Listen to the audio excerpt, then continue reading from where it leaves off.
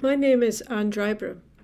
What I want to do in this course is to give you an introduction to understand abuse. Abuse is horrific in what it does to people. And what we want to do in this course is to give you a basic understanding of what abuse looks like, what its effects are, give you a biblical understanding about it, and and to help equip you to have insight into it so you're better able to care for people that you know who are being abused and also to encourage you to do further study. This is an introduction to, to, the, to the horrible issue of abuse, and we hope that by following this course, it will help equip you to see it, to help equip you to be good at caring for people, better equipped at caring for people, and also encourage you to do further study in this area. So, when is abuse? Now, this lesson is largely based on a book When Home Hurts by Jeremy Pierre and Greg Wilson. And they say, when, when is it abuse? They ask that question. And their answer is abuse occurs as a person in a position of greater influence uses their personal capacities to diminish the personal capacities of those under their influence in order to control them. Because God made people as embodied souls, these personal capacities are both physical and spiritual. Now, here you see in their definition, or their understanding of when something is abuse, it's not just someone being selfish and mean. It's more than that. It's they're using who they are, their position in life, to be able to control someone else. And this control is harmful to the other person. And you see, God made us to be physical and immaterial, to be physical and spiritual. And these two things are aspects of who we are as people are not separate entities, but they're intertwined. So affects abuse affects people in all aspects of who they are. So they then go on to identify abuse from two directions, as you can already see hinted at here. So first is the manipulative intent and behavioral forcefulness of the one in a position of influence.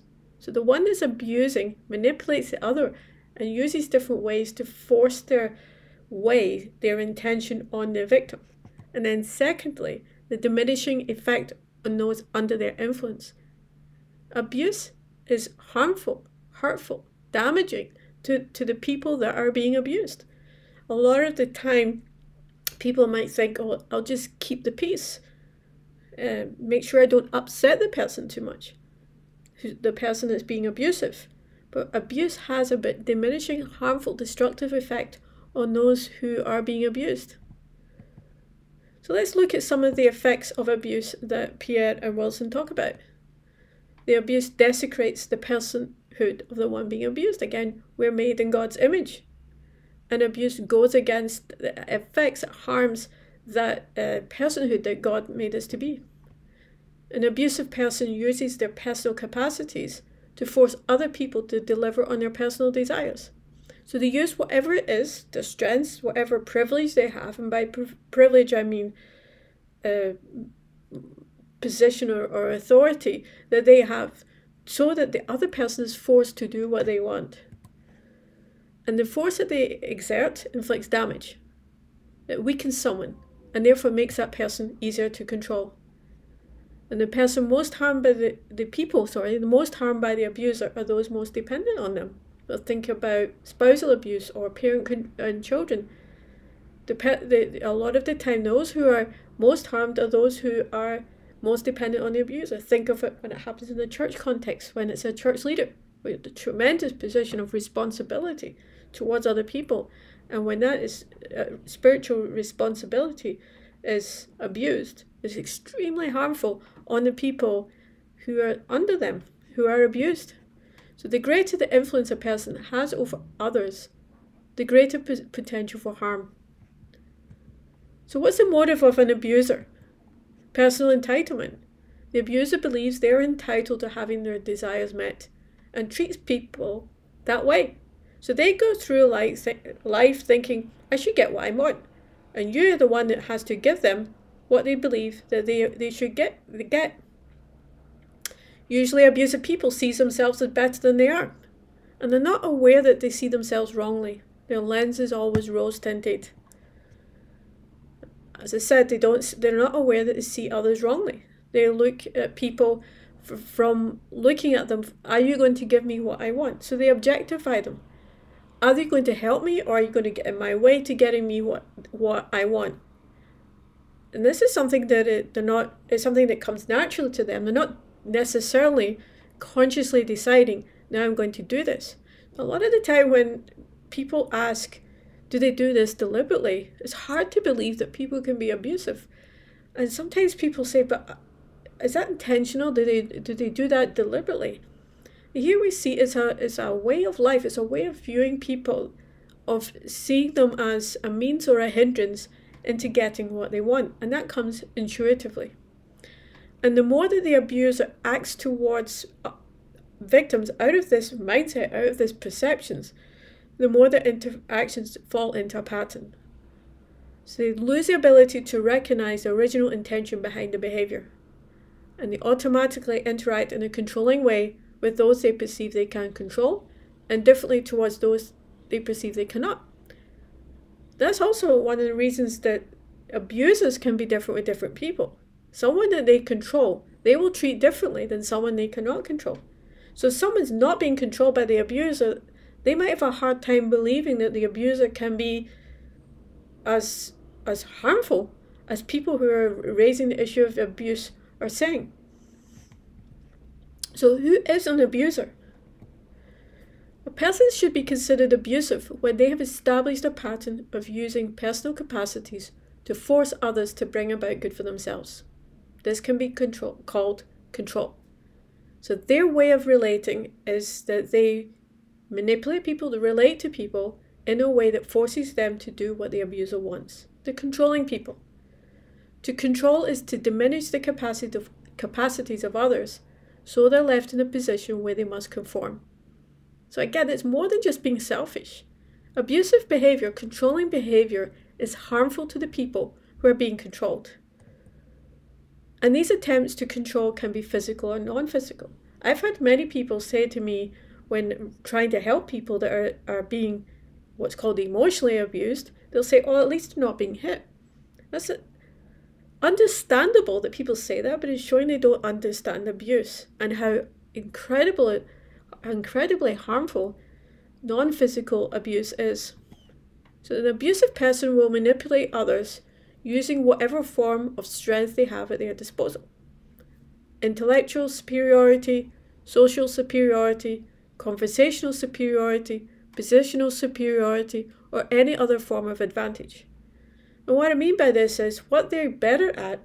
So that could be they're really good at talking, they know how to talk their way out of anything. It could be that they have a position above the other person. It could be that they're smarter or in a social context that they have a higher position in, in society. They'll use whatever uh, strength they have or privilege they have and they use it to their advantage so that they can get their own way and they can control other people. So let's look at some terms and, and look at an explanation of them. So manipulative intent. This is the intention to gain personal control over another person. You're not trying to determine if the person intends their actions to be abusive, but they intend their actions to gain control over a person under the influence. That goes back to what I just said a few minutes ago. It's not that they're saying, are they, is, is it deliberate what they're doing? Are they, do, are they being deliberately abusive? What they're wanting is to get their own way. They want to get control of the other person, and the other person does and is who they want them to be. By Behavioral oppression is the degree of coercion a person's behavior has on those under the influence. How much effort is being used to incapacitate another person's freedom of choice. So it's really important to recognize that behavioral oppression occurs on a spectrum of greater and lesser, lesser degrees of forcefulness and persistence. So it's not just all the same. They don't treat people in exactly the same way. So forcefulness is the degree of threat a person faces for not conforming to the manip- manipulative intent of the abuser. What's going to happen to them if they don't do what the abuser wants? And persistence is the degree to which the manipulative behaviors that, sorry, persistence is the degree to which the manipulative behaviors have established themselves as patterns of the relationship. So the greater the degree of forcefulness and the greater the degree of persistence, the more clearly abusive a person's actions will be. Behavioral oppression is both soul impacting and body impacting. So, one embodied soul is using their spiritual and physical capacities to hinder these same capacities in another. So, again, I keep going back to saying it's not just being selfish, it's about having control over someone else. And that control is harmful to the victim. So, regarding the soul, the behavior of an abusive person will include non physical interaction. And usually, this is verbal and non verbal means of communication. Now, this is a long quote here. So, regarding their body, when an abusive person cannot adequately control others with words and maneuvers, they will often physically force their will on others. Threatening gestures, shaking a fist, slamming the wall next to someone, leads to acts that physically limit someone else. Blocking an exit, gripping an arm, shoving. I knew a man who would put the couch in front of the living room door so his wife could not go out go upstairs at night and he would shout and rant and rage at her.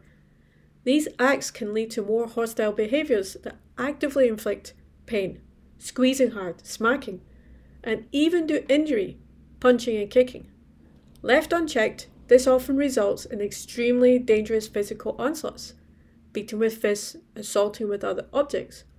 All of these behaviours have a profound effect on the body, both visible, bruises, cuts, and injuries, and invisible, traumatic reactions, physical problems from anxiety. Abuse is really, really serious. It has a, a, huge effect on the victims. Another aspect here, what's known as emotional abuse, which we will be talking about in this course. The more you give into it, the further the abuse, um, the worse the abuse gets, and the more likely that there will be physical abuse. Like uh, by physical abuse, I mean physical harm, hitting and such like. So the more you give in to an abuser, the worse that things become. A lot of people, when you when they have an abusive person, they think, "Oh, just keep the peace, don't upset them," because they see what they're like when they don't get the wrong way. But the more that you give in to this person in that way, they know they'll get their own way, and the abuse will get worse and worse. So it's really important that the the, the all of the people that are involved get appropriate help to be able to to relate to the situation in a wise way. So definition and types of abuse. This is something my, my own definition of emotional abuse is behavior that's designed to control, intimidate, subjugate, punish, or isolate another person, resulting in the victim becoming emotionally, behaviorally, and mentally dependent on the abuser. So you see again, it's much more than being selfish. It's a, it's a whole way of relating to someone so that they're under, under their control. And the victim is harmed. They're, they're totally dependent on the abuser in their emotions, their behaviors, and in their mind. So different types of abuse. What's known as emotional, psychological, spiritual abuse, sexual abuse, physical abuse. So continue to think about this whole awful topic of abuse, the different themes of scripture, doctrines, are these perspectives through which sorry, these perspectives through which we view the problem of domestic abuse. So it's not just take a Bible verse here, what does the Bible say about marriage? And then take a, Bi- a Bible verse, but it's looking at scripture as a whole to be able to uh, have a thorough understanding of what scripture says, to be able to understand the situation of people and to provide help. Firstly, there's the image of God all people are made in the image of God. And that's displayed in our capacity both to perceive, to understand the world as people, and to influence one another as people. We have sin, Genesis 3, which dis- disorders the design, and it twists, warps the ability to understand, to perceive the world rightly, and to relate to others in a righteous way.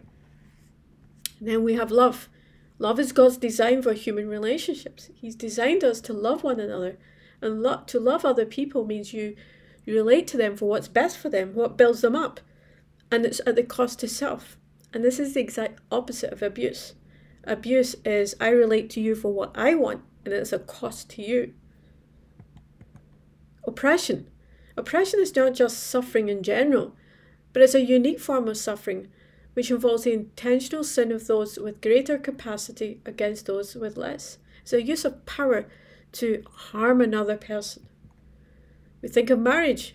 Marriage is designed by God for a man and a woman, and they live out an exclusive form of love with each other, where the husband leads in sacrificing his interest for his wife, and the wife follows him in freedom.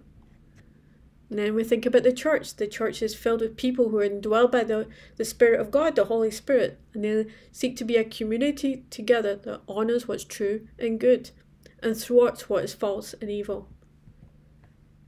So let's think about identifying abuse in different contexts. So we, in this course, we will be looking at patterns of behaviour involved in abuse and their effects on the victim. And this will help you to be able to identify abuse in different contexts. And that will come up in future lectures. And then looking at the impact of abuse on victims. So abuse is a sin that affects personhood, as God designed it. So when someone is being abused, it affects who they are as people made in the image of God. It can affect the whole personhood as image bearers of God. Again, this is something that we will be exploring in future lectures.